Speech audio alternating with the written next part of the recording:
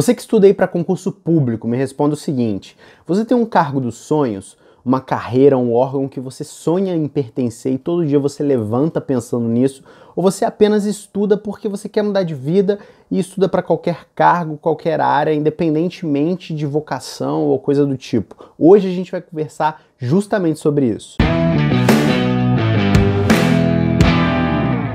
Fala galera, beleza? Meu nome é Hugo, seja bem-vindo a este canal, o único canal de concurseiro para concurseiro do YouTube. Olha, eu tenho uma visão muito clara sobre uh, carreiras e profissão e tudo mais, e eu acredito que a nossa geração, como eu já falei outras vezes aqui no canal, ela foi enganada pelo mito de que você deve fazer o que você ama. Ou seja, a nossa geração da década de 80 e 90, os nascidos na década de 80 e 90, uh, nós fomos é, levados a acreditar que a gente poderia ser o que quisesse, quando na verdade o mundo não funciona assim. Você imagine um mundo onde amanhã todo mundo acorde e fale: Olha, eu vou fazer o que eu amo, né? Provavelmente ninguém ia fazer essa blusa, esse microfone, esse óculos esses livros aqui traz, uma série de pessoas abandonariam profissões vitais para o planeta. Então, até a década de 70, cara, era, era inconcebível essa, essa noção de que assim, a pessoa só vai trabalhar com o que ela ama. O trabalho não definiria a pessoa, ela fazia o que tinha que fazer. Então, com 17 anos, provavelmente seu pai, assim como o meu pai, vai trabalhar no que tem que trabalhar, cara. Se for numa fábrica, você vai trabalhar numa fábrica. Se for cortando cabelo, vai ser cortando cabelo. Se for dentro de um açougue, vai ser dentro de um açougue. E pronto. A nossa geração foi ao contrário. A gente falou: não, você forma no ensino médio, vai fazer o que você ama. Então, o cara vai fazer design, o outro vai fazer artes, o outro vai ser engenheiro, outro médico, enfim.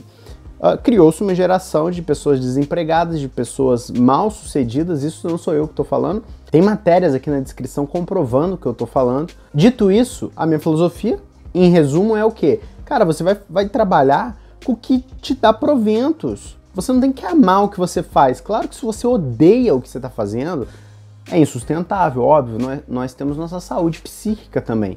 Mas você tem que aprender a amar o que você faz e não o contrário, fazer o que você ama porque nem todo mundo tem a possibilidade de fazer o que ama. Se você achar um jeito de ganhar dinheiro uh, fazendo o que ama, bem, mas a maioria das pessoas, 99,99% ,99 das pessoas, vão trabalhar com áreas completamente uh, que não é vocação, né? Você perguntar para uma criança se o sonho dela é ser técnico administrativo do MPU, você já ouviu isso de alguma boca de alguma criança? Não, mas as pessoas se encontram realizadas dentro do MPU, por exemplo. Então é o seguinte, eu, eu quando comecei a estudar, eu tinha esse pensamento, cara, eu vou fazer concurso para onde tiver vaga e se for tribunal tudo bem, se for polícia tudo bem e vambora, onde estiver pagando eu faço.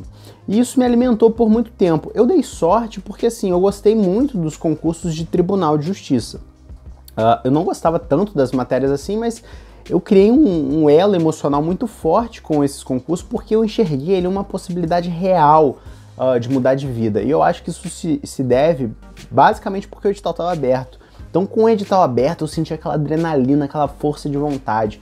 E é isso que me movia todos os dias, a força de vontade de pertencer uh, a, em ser servidor público, né? Não em ser escrevente técnico judiciário, porque afinal eu não sabia nem o que fazia um escrevente técnico judiciário. Eu sequer tinha entrado num fórum na minha vida. Mas eu queria muito ser um servidor, porque eu sabia que aquilo ia me dar uma remuneração onde eu poderia mudar de vida. É muito difícil para mim, por exemplo, e essa pode ser a situação de várias outras pessoas que estão assistindo agora, você se manter motivado todos os dias quando você não tem um objetivo final. Porque se você perguntar para mim, cara, é, qual que é o cargo? Muitas pessoas me perguntam às vezes, qual é o seu cargo final? Onde você quer estar tá no final, assim? Qual concurso final para você? E eu não tenho. Então, basicamente, eu venho enfrentando muitos problemas para continuar estudando uh, regularmente. Por quê? Qual que é o lance, cara? Quando você tá nessa mentalidade como era a minha, de tipo, é, é, eu vou fazer concurso para onde tiver vaga e vou embora. Aí você tá indo pro MPU. Aí de repente, cara, o MPU dá uma travada. E aí a PRF fala que vai sair. Aí você muda de área, você fala, ah, quer saber, eu vou pra PRF, que é uma oportunidade melhor. E aí a PRF, você fala, meu, vou lá pra fronteira, cara, lá em Roraima, vou ficar dois anos lá. Ah, eu acho que eu vou usar pro TRF3 tu foi para tribunal federal agora. Aí daqui a pouco, ah, mas o TJ Minas tá para sair, aí tu vai pro Tribunal de Justiça Estadual. Então você percebe que quando você não tem um objetivo final, um cargo, uma área é, limite que você quer pertencer, fica muito difícil. Por isso que eu falei no começo do vídeo, né, falando minha filosofia de, de que você tem que fazer o que, o que quer e tal, mas quando você aplica concurso público, não é bem assim, cara. Eu acho que por um tempo a gente. Óbvio, é como eu tava falando, você não precisa sonhar em ser auditor da Receita Federal. O seu sonho. Cara, mas você sonha em ter a vida de quem ganha 20 mil reais por mês. Pronto. Isso já é suficiente. Você não precisa ser é, apaixonado pela figura do auditor. Mas você tem que ser apaixonado pela ideia de ser um servidor da Receita Federal, tá entendendo? Porque a minha situação é o quê? Eu não sonho em pertencer em lugar nenhum. Então, assim, abre MPU, eu vou para MBU. Aí PRF tá passando, aí eu, ah, opa, PRF. Então eu fico oscilando de caminho que eu só perco tempo porque são áreas completamente diferentes. E eu tava falando com uma amiga minha e ela tava na mesma situação que a minha, cara. Ela, ela passou no, em dois tribunais de justiça, estava guardando nomeação. Não é certo que vai ser nomeada, mas sim, grande possibilidade. Eu falei, cara, como tu consegue ficar todo dia estudando, estudando sem parar? Você não, sabe, tipo, meio que você tá engatilhada para ser nomeada e tudo. E ela falou, cara, meu sonho é ser juíza. E eu não vou parar enquanto eu não for juíza. Cara, aquilo para mim foi assim, ó, uma explosão, porque eu falei, meu Deus, é isso.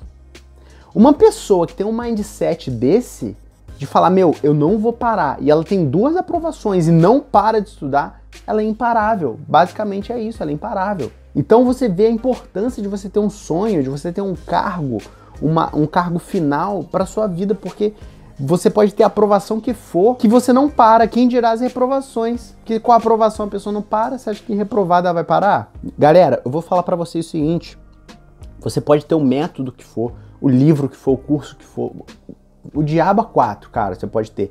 Mas no fim das contas, o que te mantém estudando é sua força de vontade em pertencer em ser um servidor público. É pronto, é isso. Não tem, não tem método, não tem livro, não tem nada. Isso tudo te auxilia, mas, cara, o que queima o seu coração, que faz você levantar, que faz você dormir tarde, acordar cedo, é esse sonho, esse desejo de ser um policial, de você ser um servidor de um tribunal. É isso, cara.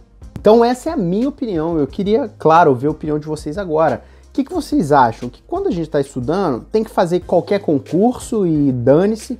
Ou você tem que ter um cargo final para você sonhar, para você ter concursos de escada, de trampolim para chegar lá? Vocês acreditam que sonhar faz bem, faz parte, é prudente? Ou que você é uma pessoa mais pragmática que não? você faz o concurso que tiver com vaga e vai embora e não tá nem aí. Ou você é assim como eu, que não tem um cargo final e você tá tentando se descobrir ainda nesse mundo louco de concurso público.